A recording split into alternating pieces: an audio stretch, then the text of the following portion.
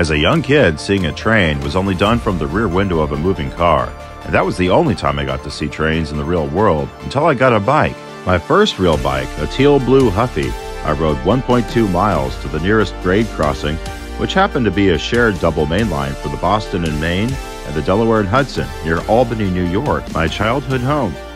Today, I'm once again trackside in Albany, although decades later and a continent away. We're at the yard in Albany, Oregon to see the Albany and Eastern Railroad interchange their cars with the Portland and Western, but it seems that this track inspection truck has everything sewn up.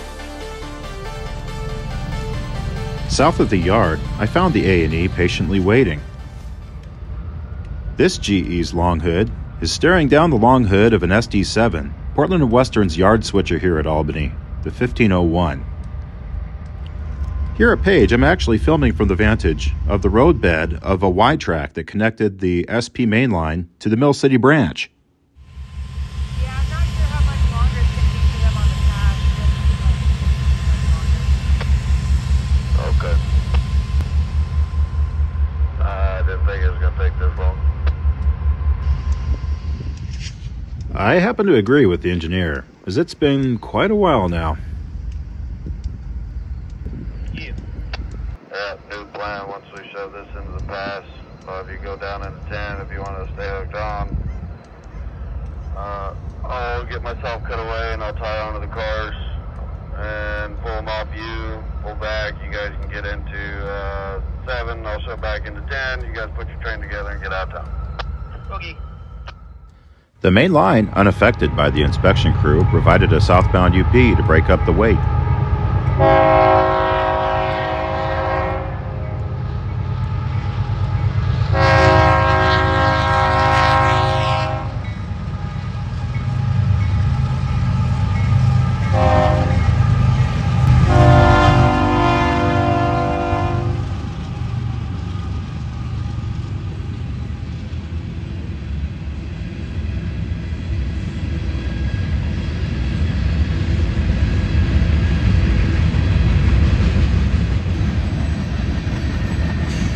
This train's a manifest Portland to Roseville with 95 cards of mostly loads.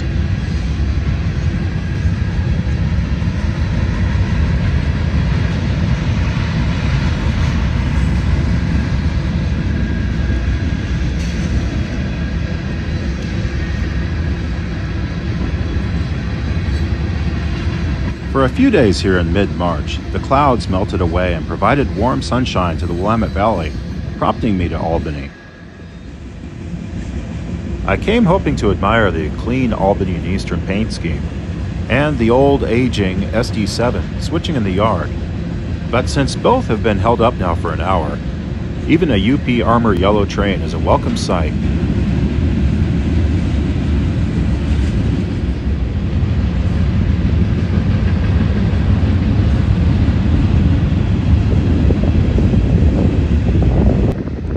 In the meantime, the inspection truck is scanning the rails of the yard tracks, holding railroad operations at bay. To help with the inspection, the 1501 has pulled out a long cut of cars to clear a track. I believe this type of inspection vehicle uses sonar to inspect rails for defects.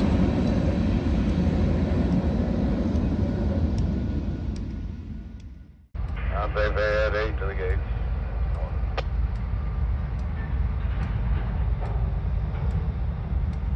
As the maintenance of way gets out of the way, the trains once again resume their work. And working on the same side of the yard, they coordinate their moves to get the work done quicker.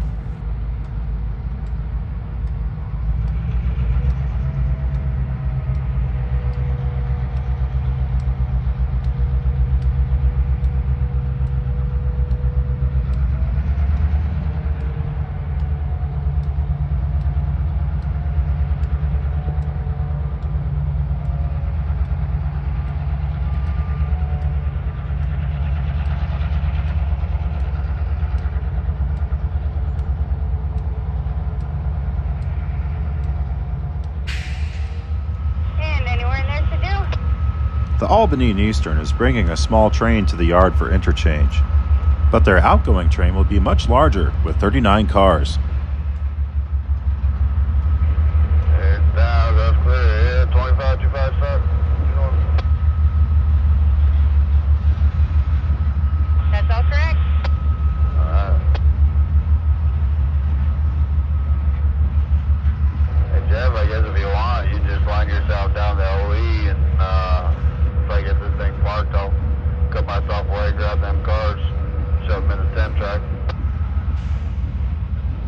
Alright, we can do that.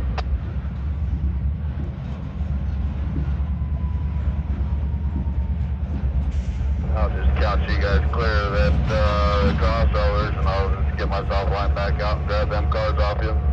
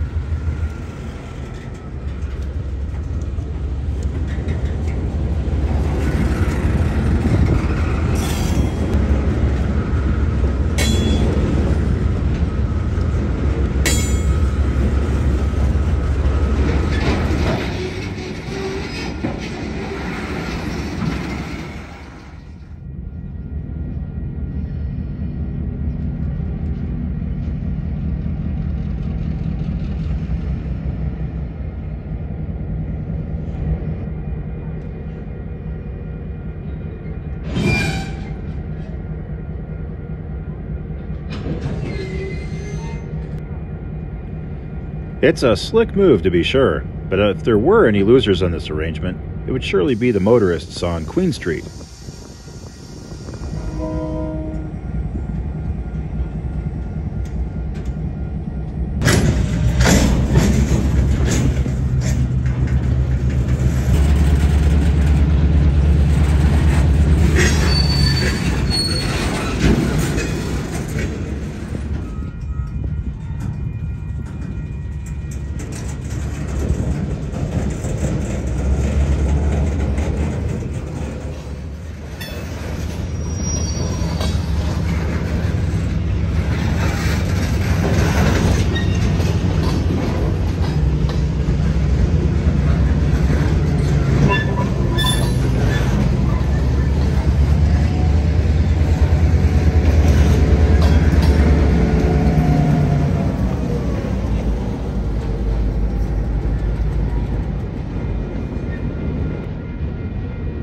As the Portland and Western takes charge of the inbound cars from the A&E, the 1501 clears the lead so the 1807 can gather up its cars from two different tracks.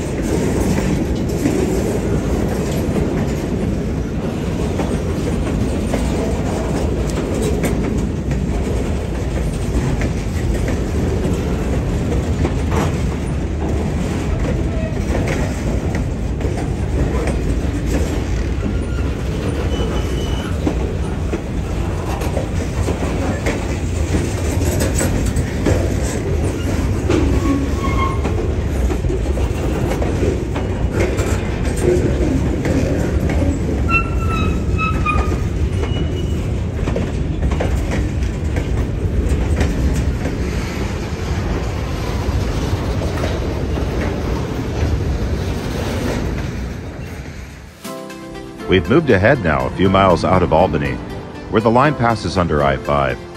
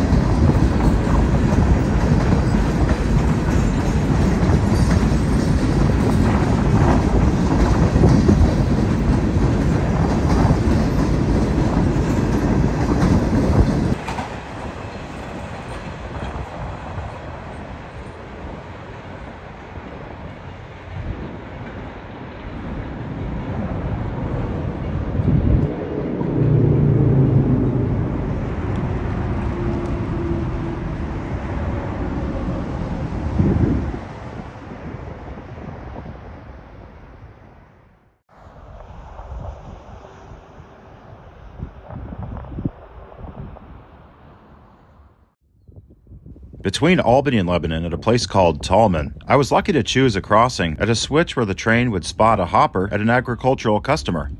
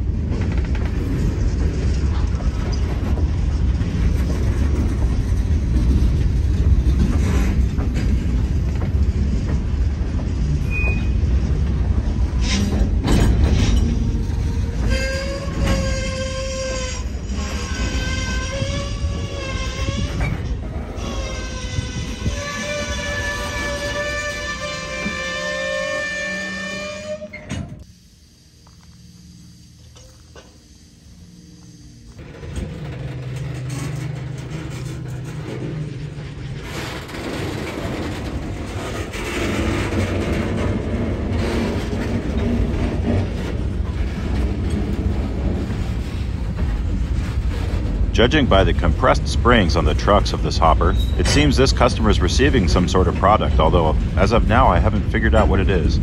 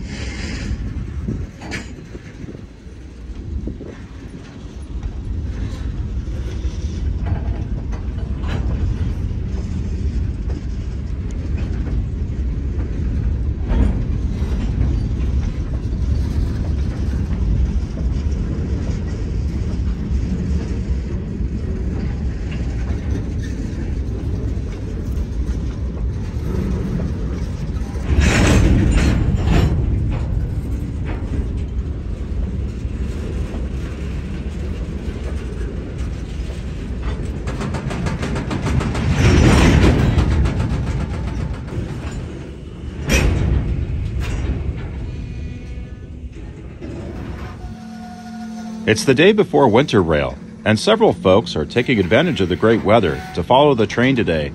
The conductor takes the attention in stride as he recalls that the upcoming event would bring out the cameras. Everybody's here. was out here. I'm like, oh, that's right. right. All in all, I think A&E trainmen are more used to the sight of fans trackside than other railroaders, and as one myself, I can say I'm impressed with their professionalism.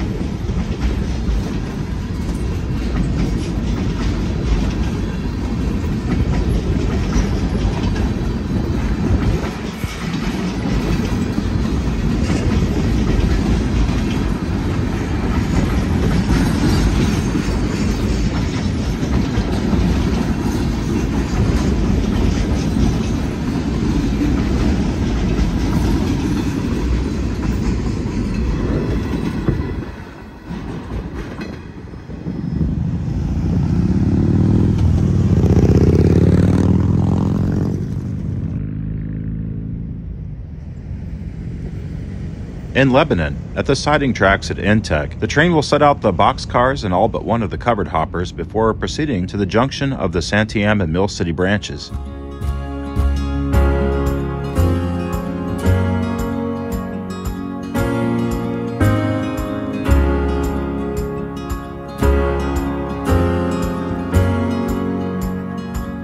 The target of the switch indicates that the train will diverge south onto the Santiam branch towards Sweet Home.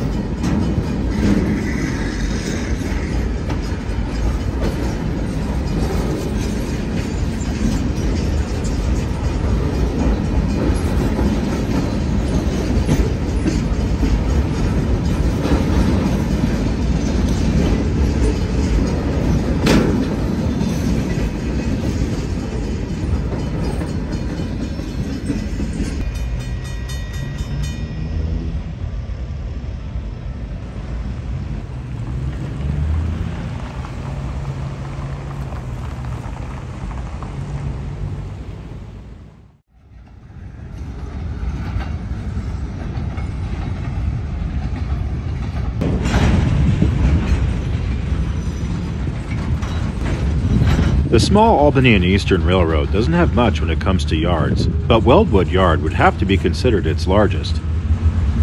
So it is here that the road switcher classifies and stores cars. Cars not needed today will be stored until called upon by the Weyerhaeuser lumber mill. Sometimes other customers' cars can be found in the three yard tracks off of the main line, but center beams are the railroad's bread and butter, and the A&E owns a fleet of over 200 of them.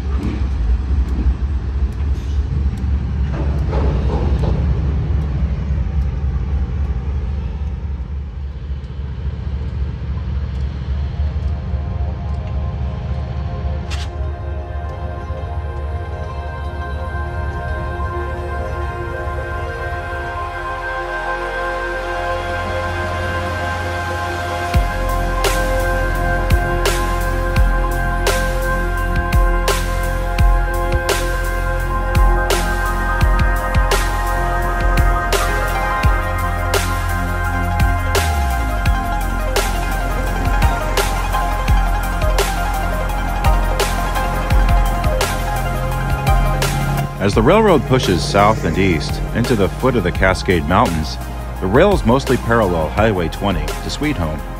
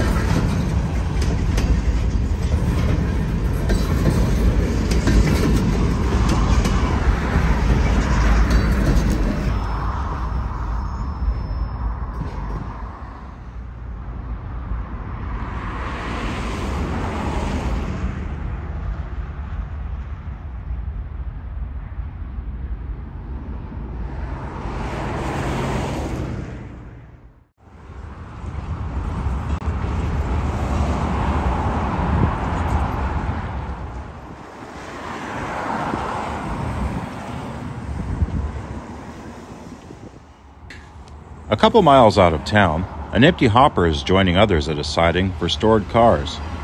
No cars here are scheduled for pickup today.